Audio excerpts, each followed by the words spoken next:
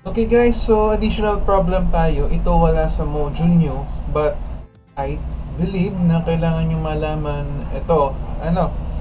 So again, na discuss ko lang that the formula for stress, ano ulit, that is just equals to P over E. So yan lang po si mechanics of deformable bodies. Napakadali kung tutuusin, tama? But ano ang magpapahirap sa inyo dito? Just like for this example, itong sa trust problem na to, you are required to solve the stresses in members CE, DE, and DF as shown dun sa ating trust na bitgay. So, ano magpapahirap dito sa inyo? Yung pag-determine ng value ng load P o yung internal force P acting at each member. So, sinong kailangang pumasok dyan? So, yung prin- principle na natutunan nyo for static of rigid bodies o SRB. Diba ito is papatak sa topic na analysis of structure. Diba ito is isang example ng problem for truss. So, ano ang ways of solving the, a problem in truss? So, di ba meron tayong dalawang method? Una is the method of joint. Then, pangalawa is the method of section. Depende sa situation kung alin yung mas magandang gamitin. If you are required to solve for all the forces o stress in each member, so mas maganda mag-method of joint ka na lang since pinapahanap lahat. But if a specific member is required lalo't nasa gitna, it's better to use the method of section. So, ganun lang. After getting the force, determine if it's tension or compression, then tsaka mo pa lang magagamit yung equation for stress which is equals to P over A. Ang area naman, binigay dyan, that is equals to 1.8 square inches. So, again, ang magpapahirap lang sa inyo, yung determination ng internal force in each member. Okay, so again, papasok si SRB. So, discuss natin, or sige, solve na natin to. So again, required is to solve for the member CE, DE, and DF. So just like all the class problems, first we need to solve for the values of the action. Okay, so ito lang yung aking pen.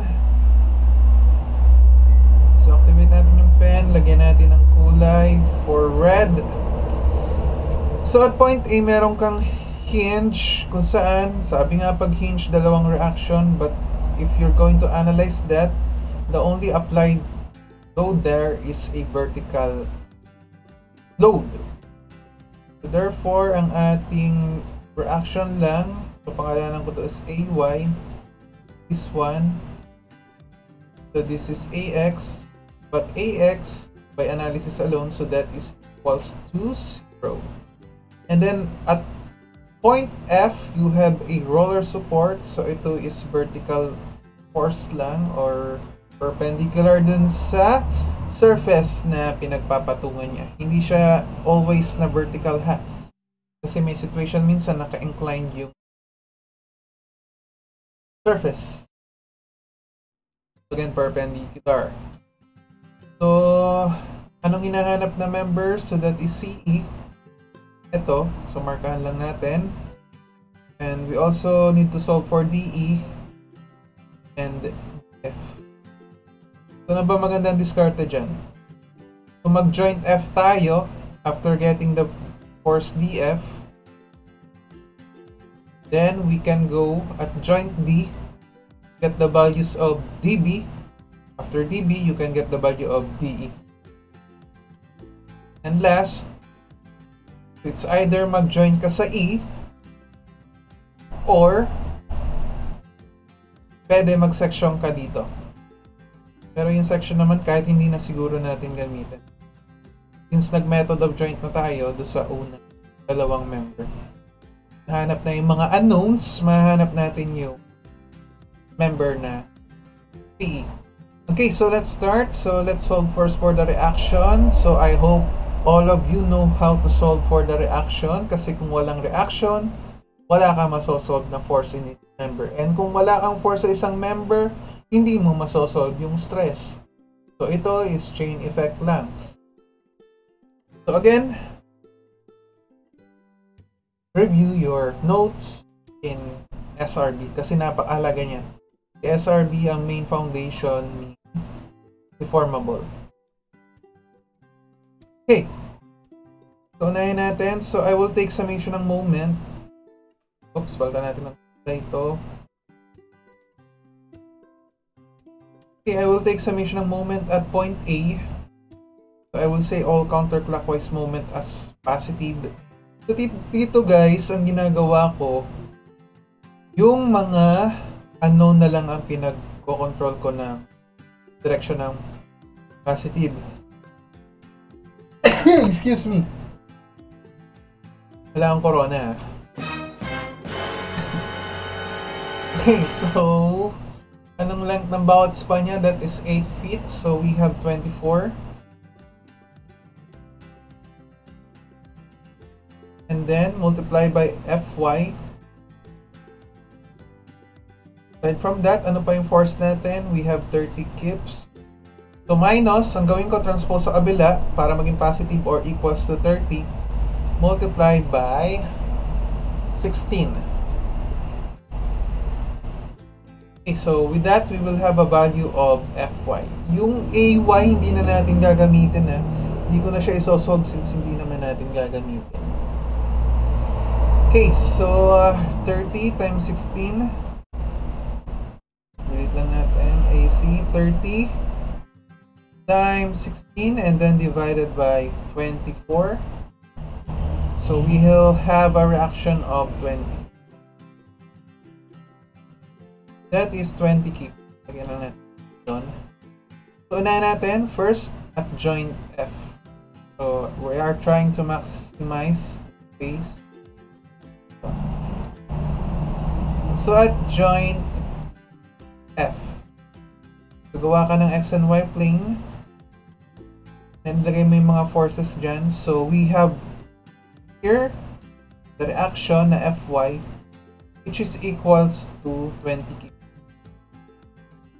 And then aside from that, we have member DF and EF.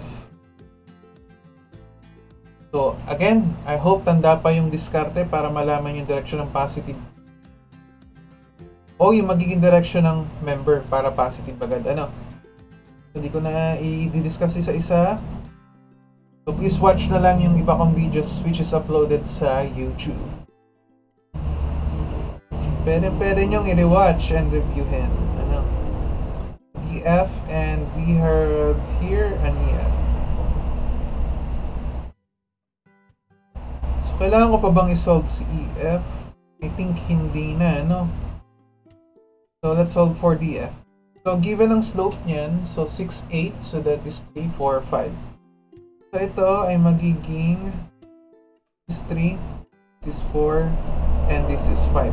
So, I hope ala, alam pa rin ha, pagkuha ng slope ha. It's divisible by 2 yon So, inano ko na lang, sinimplify ko na lang. Okay, so by taking summation of forces y o vertical, assuming that all downward forces is positive, take summation of forces y equals to 0. Again, equilibrium equation. So we have 3 over 5 of df is equals to 20. Therefore, the value of your df equals to 1. So 20 times 5, 100 over 3. Tayo ng IQ ah. So 100 over 3 kips. So hinahanap ba si DF? Of course. So ito is under a category ng force na compression. Okay, again, the formula for stress of dF equals to the force dF o yung dF, sulat na lang ito, over the area. So, ang area naman sa bawat member ng truss, pare-pareho lang na 1.8 square inches. Sulat natin 100 over 3 over 1.8. Okay, so what is the stress in PF? So, kasya pa yung space natin doon. Sulat ko sa tabi. So, AC. So, 100 by 3 by 1 That is 18.5185. Dito ko na lang sulat ah. Ayan, 18.5185 5185. 18.5185. So this is in KSI. So ano nga siya? Compression. Okay, so ang sunod natin is joint D.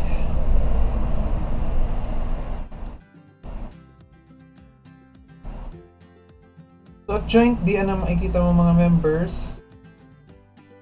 So meron ka dito DF, so ang DF mo compression, so dapat pa ganyan siya. Aside from that, you have member BD. So BD, I could say by inspection alone that BD is just equals also to DF. Okay, so dapat alam nyo na yan. Since may SRB na kayo, tiningnan ko lang ha, tinitigan ko lang. Pareho lang kasi ng slope. And then, etong dalawa lang na to, ang horizontal, merong horizontal component na force. So to counteract that one, by taking summation of forces horizontal, malalaman ko na si BD is just equals to DF. And then since ang vertical component nila is parehong pataas, therefore to counteract that, yung DE mo should be directed downward. Okay, so by taking summation of forces y, assuming that all downward forces is positive, equals to 0, so we have DE is equals to, ano nga yan, 100 over 3. So multiply ko na lang ng 2, since dalawa sila, times yung slope, yung slope natin, so that is 3 over 5. So what will be the value of your DE? That is cancel, cancel, so 200 over 5 to 40. Okay. And then yung stress, aha, ganun lang din. Stress for the member DE. So analyze muna pala natin ano ang direction ng force na ito. So that is in right. So we have 40 over the area na 1.8. Therefore, kailan natin.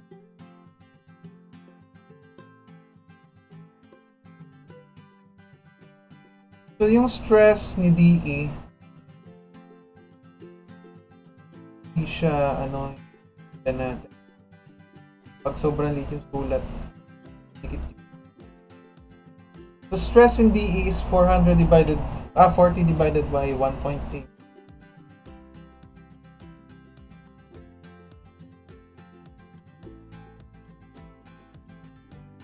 That is equals to 200 over 9 or 22.222.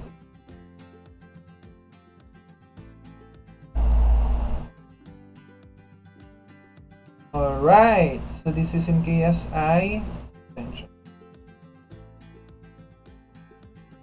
Lolo ko yung pen ko ah.